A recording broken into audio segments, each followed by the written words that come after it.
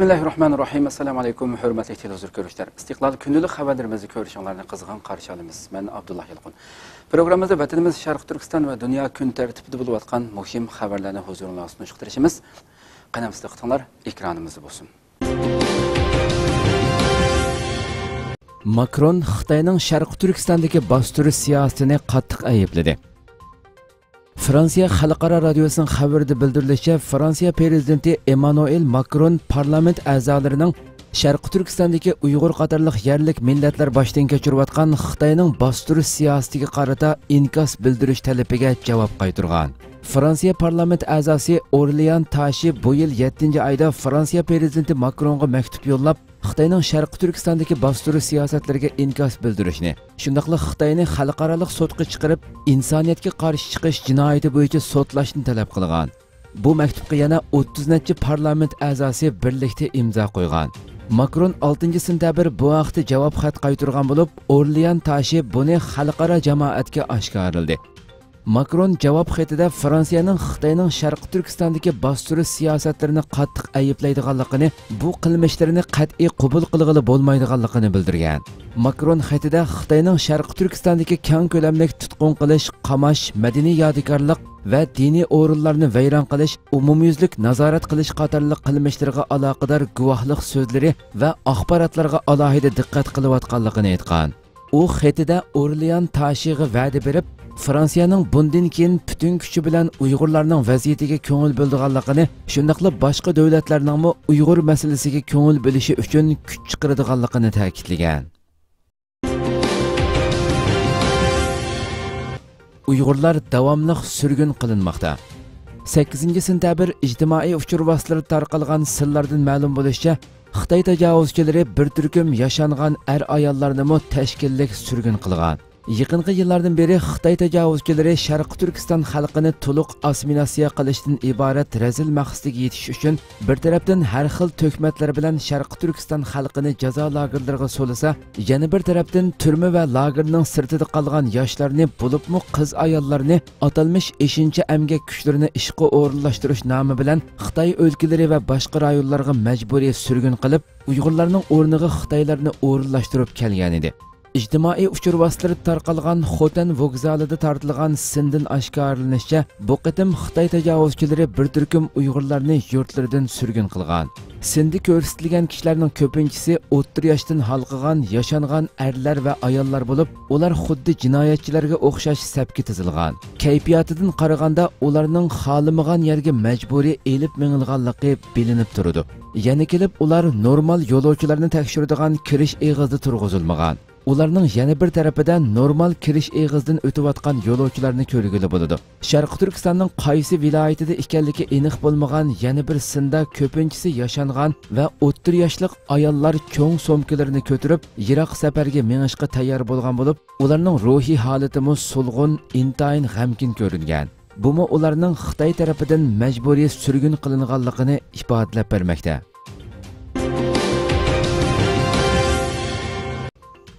Pakistan talibanlari Xitoyga tahdid bo'lmoqda. Fransiya agentligining bugungi xabarida Pakistan talibanlarining Xitoyning bir balvoq bir yo'l sodi planiga tahdid bo'layotganligi bildirildi. Yaponiya taratqullarining xabarida naql elingan xabarga asoslanganda Pokistondagi talibanlar yaqinda yanada intayin jonlangan holatda bo'lib, ilgari bo'linib ketgan 3 guruh yaqinda muvaffaqiyatli birlashtirilgan. Ular Xitoylarni nishonlab, ularni tutqun qilish va o'ldirish orqali xitoyning bir balvoq bir yo'l planidagi muhim qurilish hisoblanadigan xitoy pokiston iqtisodiy koridoriga tahdid solmoqda ekan. Nikkay osiyo obzori to'ridan naql ilingan xabarda oshkorlanishicha pokiston talibanlari 2007 yili davlatning g'arbiy shimolidagi afg'oniston chegarasida qurilgan. Undan boshqa rayonlarga kengaygan. 2014 yili bo'lsa jamoatul ahrar hizbul ahrar va hokimulla mahsuddin iborat 3 cho'ng guruhiga bo'lingan. Mazkur uch tashkilotning yaqinda tuyuqsiz qaytadan birlashishi nurg'un kishilarni bo'libmi xitoyni hayron qoldirgan.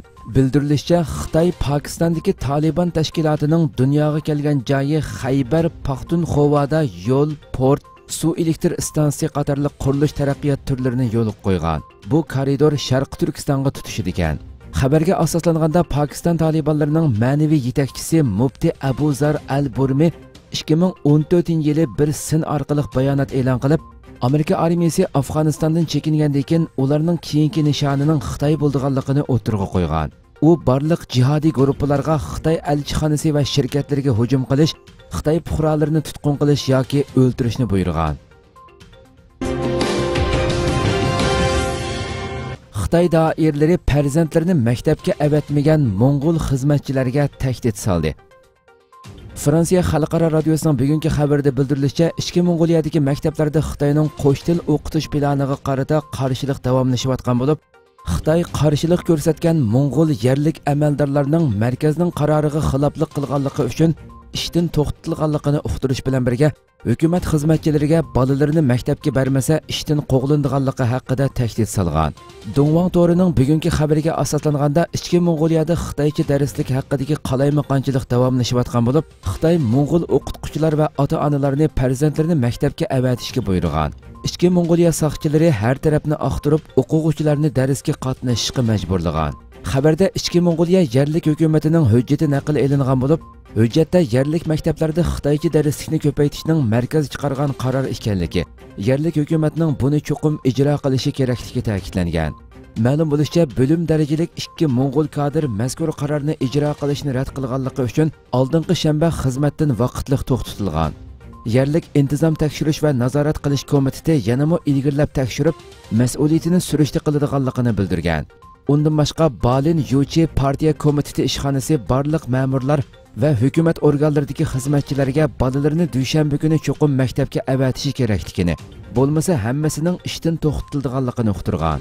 Chet eldagi bir qism mo'ng'ul taratqullarining bildirishicha xitoy ichki mo'ng'uliyadagi barliq o'qituvchilarning o'quvchilarni darsga qatnashishga tashkillashi kerakligi.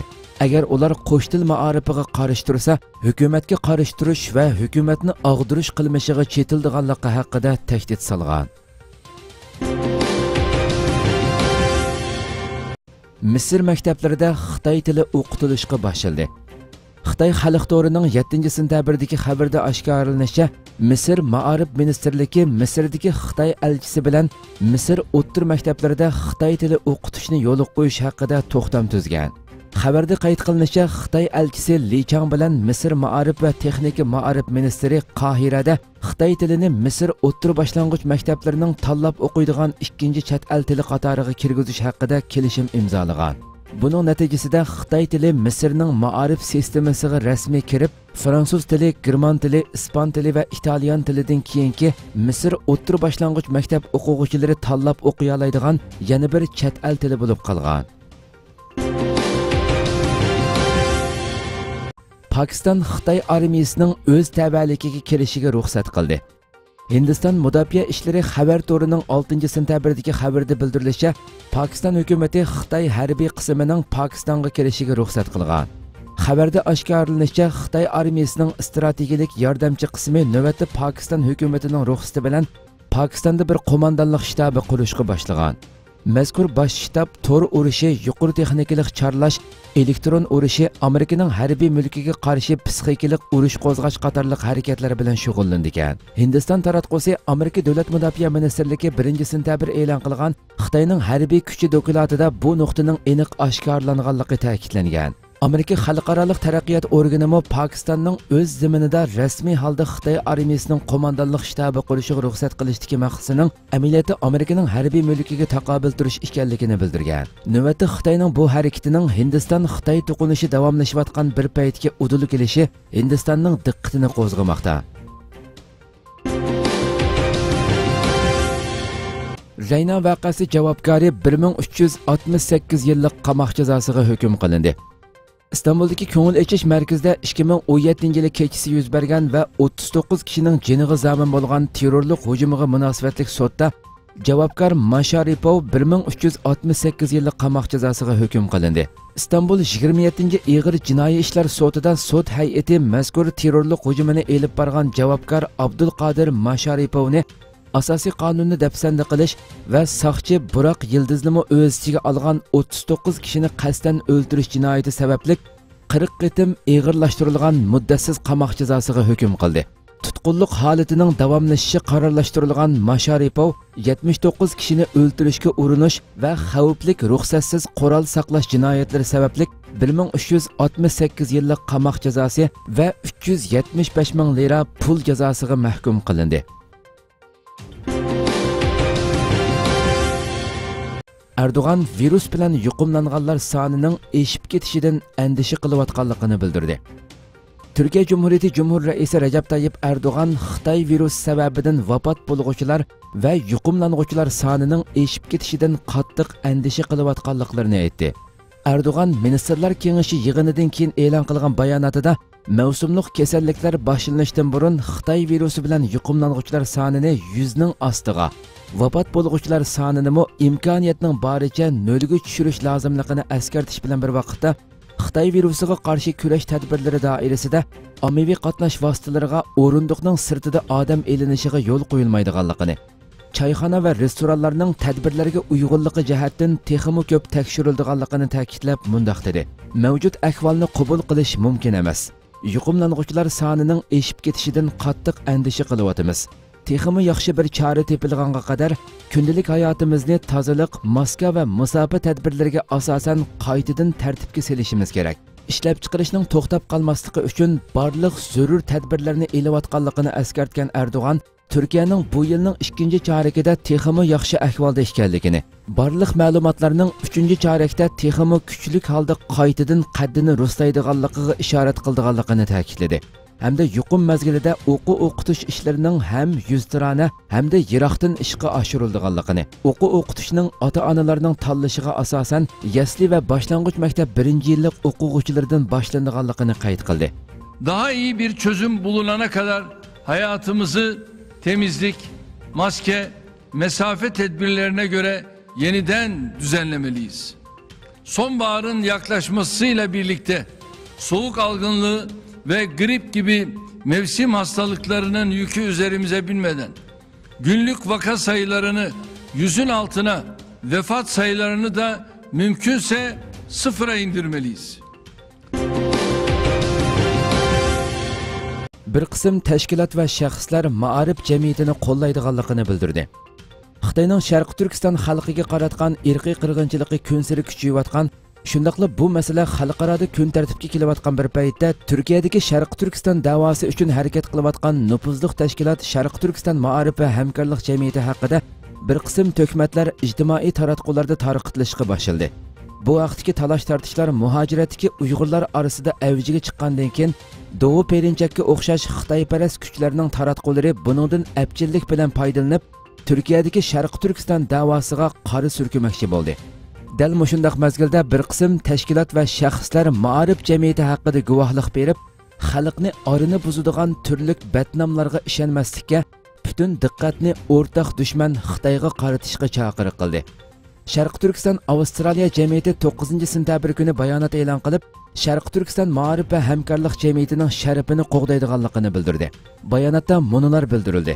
Sharqi turkiston avstraliya jamiyati turkiyada 14 yildan buyon izchil fidokorlik bilan vatan millatning xizmati va davosini qilayotgan sharqi turkiston maarif va hamkorlik jamiyatining barliq amaliy xizmatlariga ijobiy baho beradi va har vaqt bu jamiyatning manfaati va izzatini qo'g'daydiganligini bildirdi. Vatan millat davosini badalsiz o'z ustiga elib yillardan beri ijtihod va ixlos bilan qilib kelayotgan shu qadar xizmatlarga adolat tarozisi bilan hukm qilgan asosda bu qarindoshlarimiz bilan maslakda harakatda va o'mlikda bir ekanligimizni bildiramiz. Sharqi turkistonning muhojiratdagi eng cho'ng va eng murakkab qatlamliq jamoatchiligi joylashgan turkiya davlatida xalqimiz uchun xizmat qilayotgan o'z jamiyatimizning obro'yini qo'g'dash barliq al suyar tashkilot va shaxslarning sharafidir. Sharqi turkiston davosida samimiy xizmat qilayotgan va niyat maqsadlari yaxshilik ustiga qurilgan har qanday tashkilotlarni va shaxslarni hurmat qilish sharqi turkiston avstraliya jamiyatining maydonidir va shuoridir kimki millat manfaatiga ziyon solsa biz ulardan yiroqmiz. Sharqi turkiston avstraliya jamiyati bayonotida yana maarif jamiyatining qurilgandan buyongi xizmatlarini va samimiyatini muayyanlashtirdi shundoqla muhojiratdagi sharqi turkiston xalqini o'mlik va ittifoqlikqa chaqirdi shundoqla istanbuldagi eli mashrab vaqfining raisi jur'at g'ulji apandimi bayonot e'lon qilib sharq turkiston ma'rif va hamkorlik jamiyatiga ortilgan to'kmatning asossiz ekanligini har zamon ma'rif jamiyatining yendi turdiganligini bildirdi bulardan sirt 8 sentabr istanbuldagi bir qism yoshlar sharq turkiston ma'rif va hamkorlik jamiyatining zaytunburnidagi ishxonasiga kelib ziyorati bo'ldi mehmonlarni sharq turkiston ma'rif va hamkorlik jamiyati raisi sharq turkiston tashkilotlar birligi raisi hidoyatullo o'g'izxon kutib oldi Yaşlar vekili söz kılıp özlerinin burun bir neçe devlette okugallıkını, kiyin Türkiye'ye kelgellikini, Mağrib cemiyetinin köngül bölüşü ve yardımı bilen nüfus qatarlıq işlerinin hal bolgallıkını, yakınqı yıllardan buyan her xil kesip ve ticaretler bilen şugullanıvatkallıkını etti. Hidayatullah Oğuzhan yaşlarının vekillerine rahmet etti ve buluvatkan bir kısım ehvallar ve Mağrib Teşkilatı'nın her kaysi sahalarda kılıvatkan bir kısım hizmet ehvalidin kısıkçı düşünce berdi. Söhbətdən keyin Оғызхан Hidayetullah Oğuzxan və Maarif cəmiyyəti əzalarının халқы үшін xalqı üçün qılıyatqan xidmətlərini qollaydığanlığını bildirib, Hidayetullah Oğuzxanğa Şərq Türkistan bayrağını hədiyyə qıldı. Hörmətli televizor görüşlər, şuna бүгінгі bugünkü xəbərlərimiz məşə yerdə axırlaşdı. İnşallah ətiki proqramımızda görüşkücə sizlərni Cənabı Allahqa tapşırırıq. Şunaqla proqram экран ekran arxasındakı barlıq xidmətdaşlarıma көптін көп рахмет edirəm. Assalamu alaykum ва rahmetullah.